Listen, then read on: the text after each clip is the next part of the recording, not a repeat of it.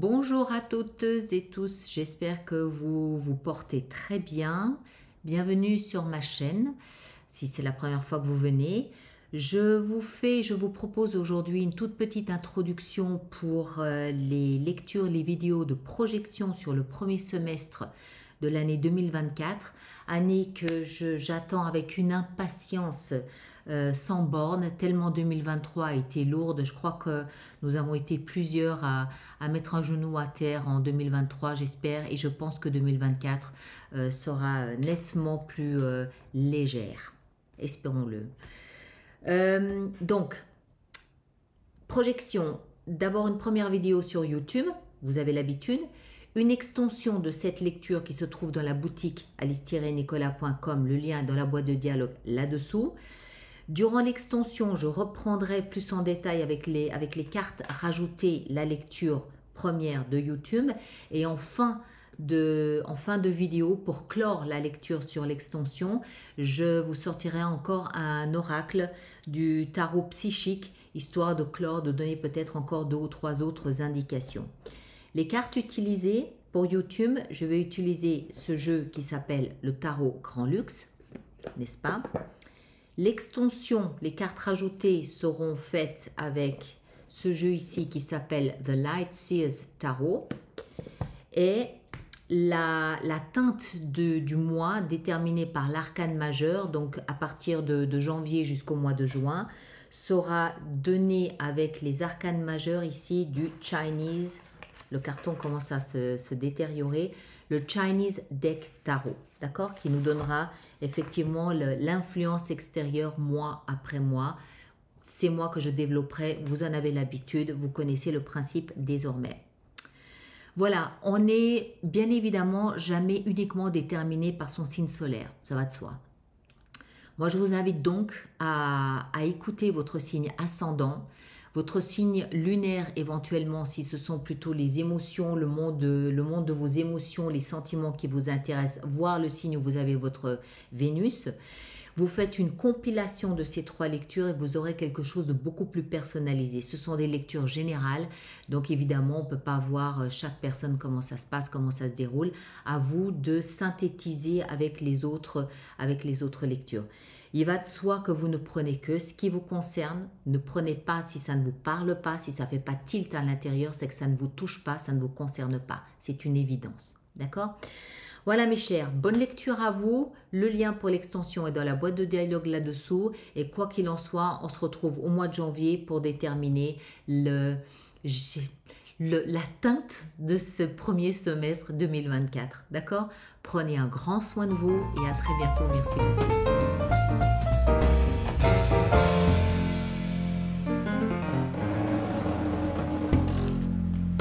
Verseau à nous, bienvenue sur ma chaîne donc pour votre lecture intuitive de ce premier semestre 2024. Alors on va faire cette lecture sous la forme de la croix que vous connaissez.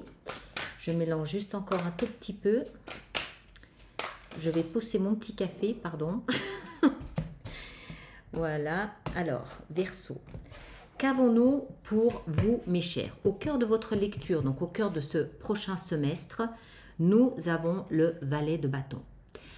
Le valet de bâton, il parle d'un nouveau départ. Les valets sont la, germination de quelque chose que vous avez probablement germé euh, en fin d'année 2023. D'accord? Il y a probablement eu dû, ou tout au moins une prise de décision que le premier semestre 2024, je vais mettre quelque chose de nouveau en place.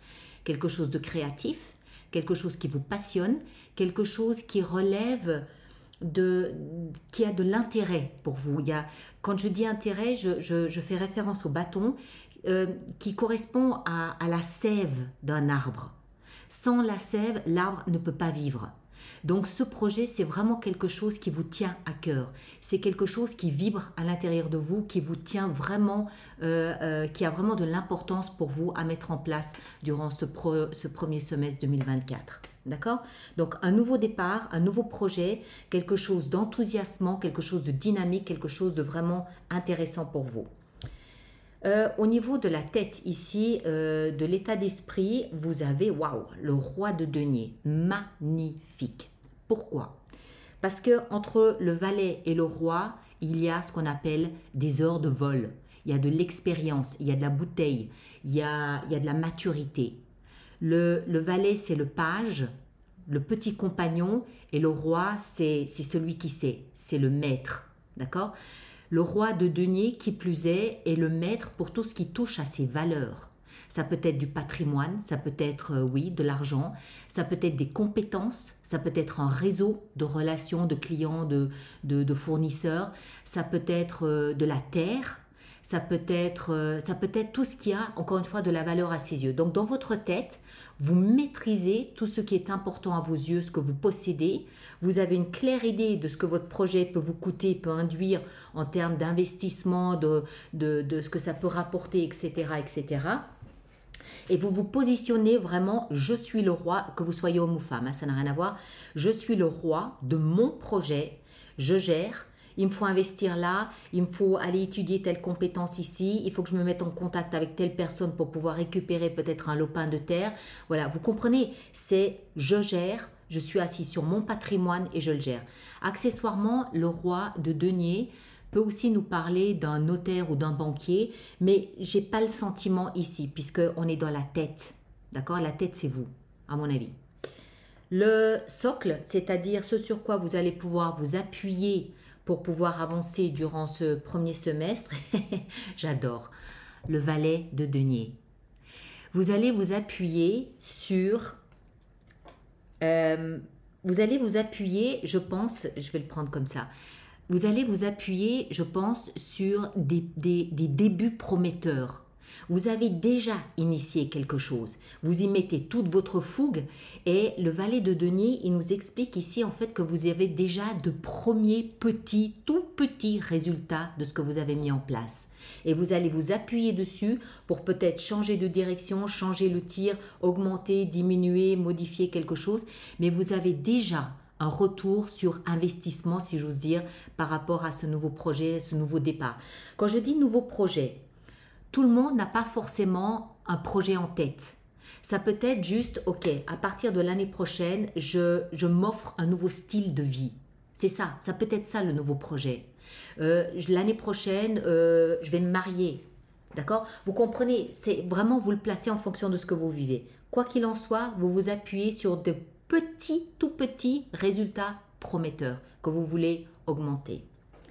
De là d'où vous venez, nous avons la 4 de coupe. Vous provenez d'un espace 2023 où vous vous êtes fortement ennuyé.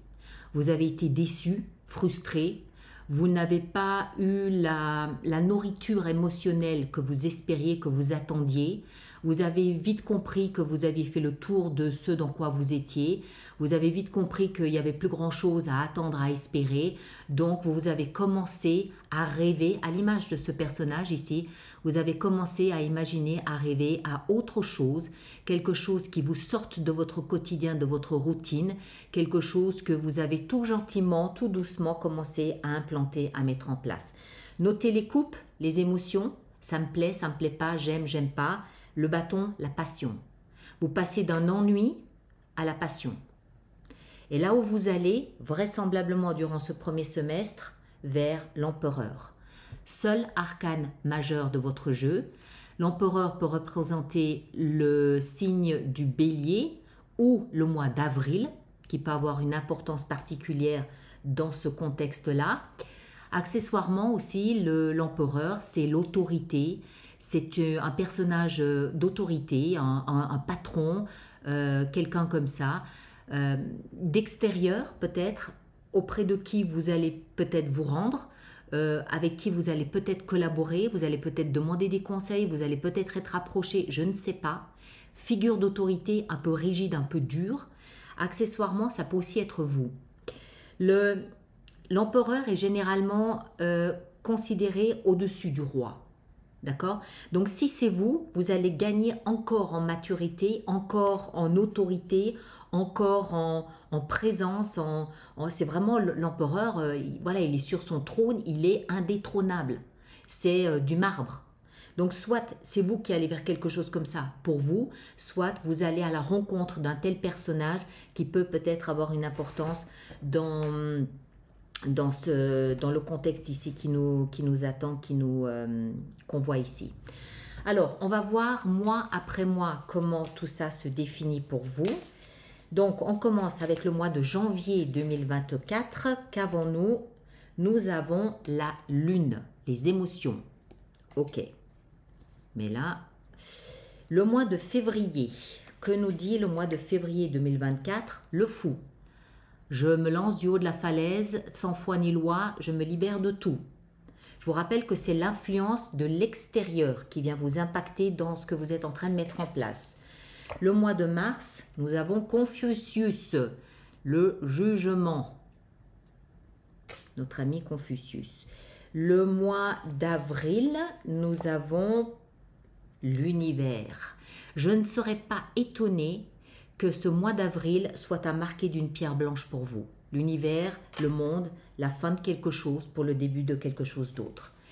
Le mois de mai maintenant, nous avons la justice.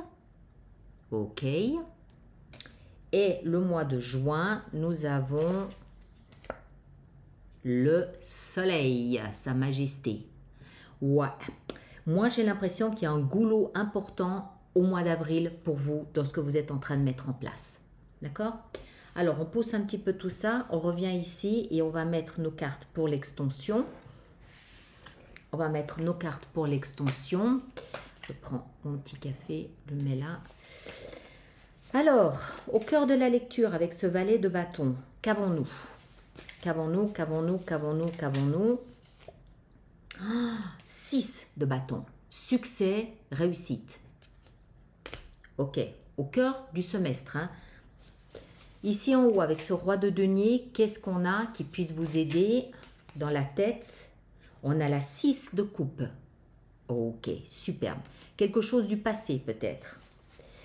Ici tout en bas, le socle qui pourrait vous aider, on a le chariot.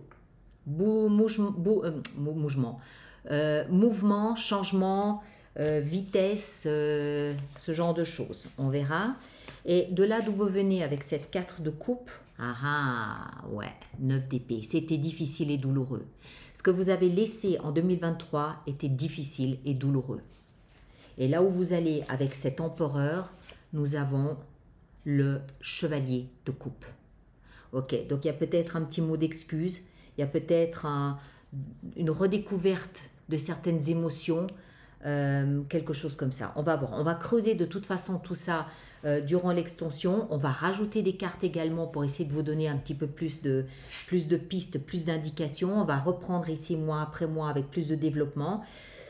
Je vous laisse donc avec ceci en sachant que je vous invite encore une fois très fortement à aller voir votre signe ascendant, votre signe lunaire. Vous faites une synthèse des trois, vous aurez quelque chose de plus personnalisé. Ne prenez que ce qui résonne pour vous, évidemment.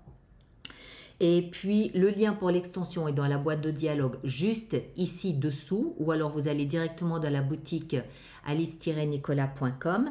Et puis euh, moi je vous retrouve par rapport à ce premier semestre au mois de janvier pour développer ensemble l'énergie de la Lune. D'accord? Prenez un grand soin de vous et à très bientôt. Merci beaucoup.